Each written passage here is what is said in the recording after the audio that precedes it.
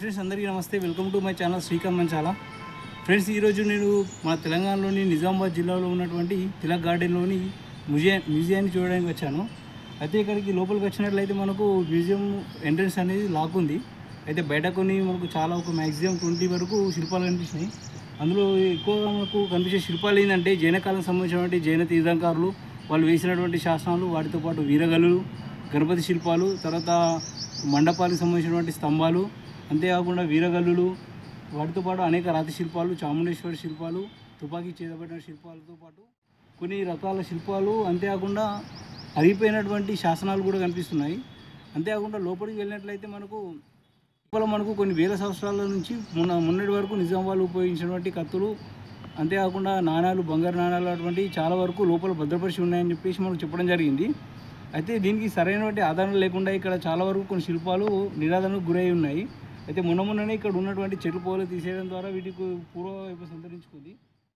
అపరూప శిల్పులు అరుదైన కళారూపాలు నిజాం నవాబుల వాడిన వస్తువులు. ఒకటేమిటి? ఇలా చెప్పుకుంటూ పోతే ఎన్నో ఇంకెన్నో చూడదగినవి ఉన్నాయని.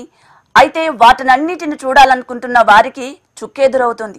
రెండు వేల ఒకటిలో ఎంతో ప్రతిష్టాత్మకంగా ప్రారంభించిన నిజామాబాద్ జిల్లా కేంద్రంలోని పురావస్తు పరిశోధన శాలను ఏడేళ్ళ క్రితం మూసేశారు.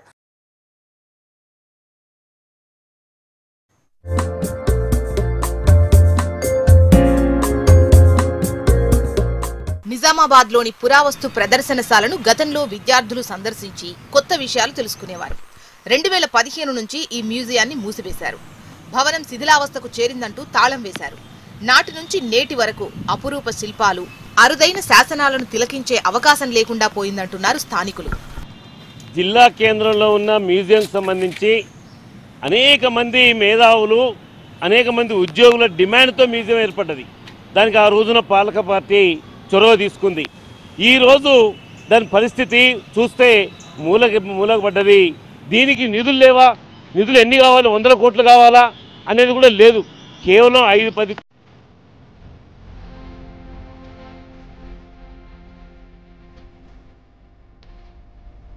వందల ఏళ్ళ చరిత్రకు ప్రతీకలు విశిష్టమైన శిల్పాలు అక్కడిప్పుడు కనిపించడం లేదు. అరుదైన నాణేలు అలనాటి ఆయుధాలున్న ప్రజలకు చూసేందుకు వీలే లేదు. పురాతన గ్రంథాలు సంస్కృతిని ప్రతిబింబించే శాసనాలు నిజాం కాలంలో వాడిన వస్తువులు అసలు చరిత్ర అంతా పరదా చాటునే ఉండిపోతుంది. నిజామాబాద్ పురావస్తు ప్రదర్శనశాల మూతపడి ఏడేళ్ళు గడిచిపోయాయి. అయినా ఇంకా అదే నిర్లక్ష్యం.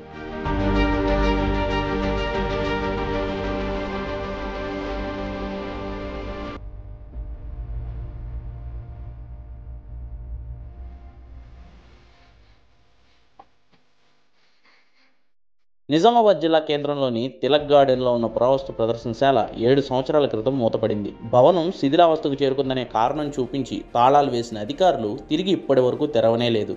ఇందూరు చరిత్రకు సంబంధించిన ఎన్నో వస్తువులు నాణేలు నిజాం కాలంలో వాడిన వస్తువులు పరికరాలు గ్రంథాలు కాలగర్భంలో కలిసిపోతున్నాయి.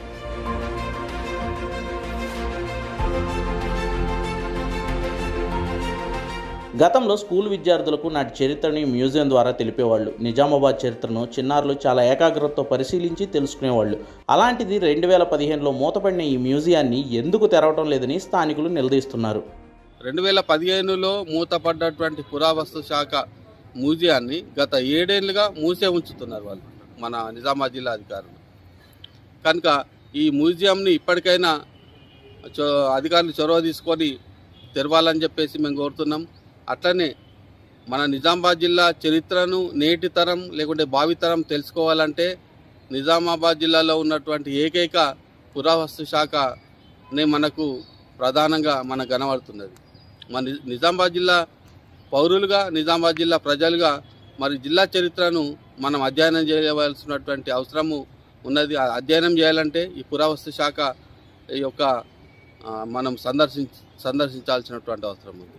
కానీ అక్కడ వెళ్తే మనకు ద- నిజామాబాద్ జిల్లా చరిత్ర సంపూర్ణంగా కనీసం కొంచెమని తెలుసుకోవడానికి వీలవుతుంది అంటే ఇవన్నీ ఎలాంటి వీలు లేకుండా చేసిన ఏడేళ్ళ నుంచి మూతపడడంలో అవి తెలుసుకోలేకపోతున్నాం.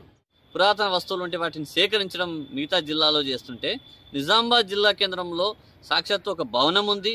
దానికి సంబంధించిన ఎక్విప్మెంట్ ఉంది. ఒక అవుట్ సోర్సింగ్ వర్కర్ ఉన్నాడు. కానీ ఈ దీన్ని తెరవకపోవడంతో అది మూలన పడే దశలో ఉన్నది. ఈ సందర్భంగా అంటే నిజామాబాద్ జిల్లా కేంద్రంలో వస్తున్న ప్రయాణికులు కావచ్చు లేదా పురాతన విషయాలు తెలుసుకోవాలని చెప్పేసి విద్యార్థులు కావచ్చు ప్రజలు కావచ్చు ఒక సండే రోజు లేదా సెలవు రోజు వచ్చేసి ఒక ఉల్లాసంగా చరిత్రకు సంబంధించి నిజామాబాద్ జిల్లా చరిత్ర కావచ్చు ఈ రాష్ట్ర చరిత్ర కావచ్చు ఈ దేశ చరిత్ర కావచ్చు చారిత్రక ఆనవాళ్ళను చూసే అవకాశం లేకుండా ఇలా పురావస్తు శాఖ నిజామాబాద్ జిల్లా అధికారులు చేస్తూ ఉన్నారు. దీని మీద సీరియస్గా జిల్లా ప్రజాప్రతినిధులు అదేవిధంగా కలెక్టర్ గారు కూడా చొరవ వెంటనే ఈ పురావస్తు శాఖ భవనాన్ని తెరిపించాలి. అసలు మ్యూజియంలో పురాతన వస్తువులు గ్రంథాలు శాసనాలు ఉన్నాయా లేవా అన్న అనుమానాలు కలుగుతున్నాయి. అసలే జిల్లాలో పర్యాటక ప్రదేశాలు చాలా తక్కువ. ఉన్న వాటిని కూడా ఉపయోగించుకోలేకపోవడం బాధాకరం అంటున్నారు స్థానికులు.